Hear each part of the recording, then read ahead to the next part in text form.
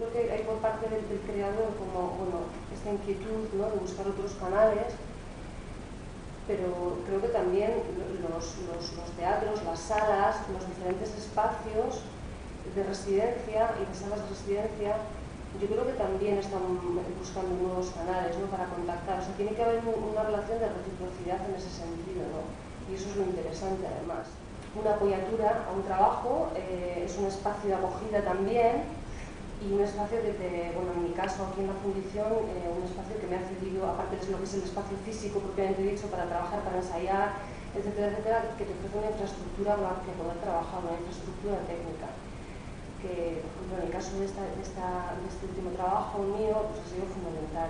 Yo creo que sin, sin esta residencia en la fundición el trabajo sería muy distinto. Se están generando otro tipo de, de estrategias, ¿no? otro tipo de estrategias tanto de, de, construcción de trabajos, de creación, como de difusión.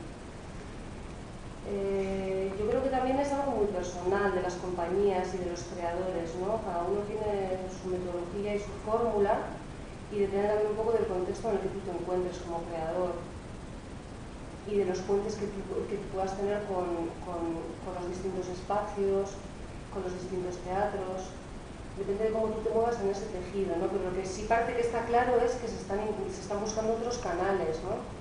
De creación y de difusión. que habla de, fundamentalmente de la performatividad del cuerpo femenino, de cómo, cómo se representa el cuerpo femenino y la imagen de la mujer en la, en la cultura visual contemporánea.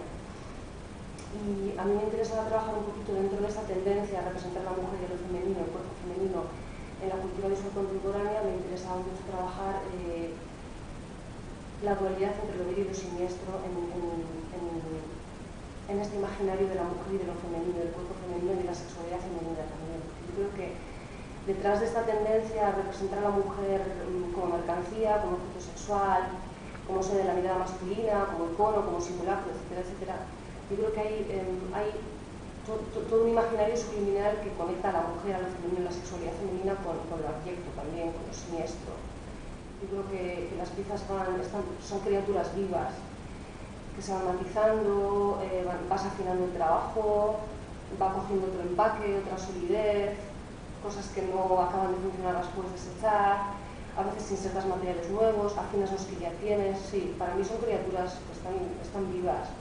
Y el público es una cosa muy grande, muy, es un cajón desastre enorme en el que entran muchas personas con perfiles muy diferentes con expectativas muy diferentes, con preferencias muy diferentes, con gustos muy diferentes, con imaginarios muy diferentes.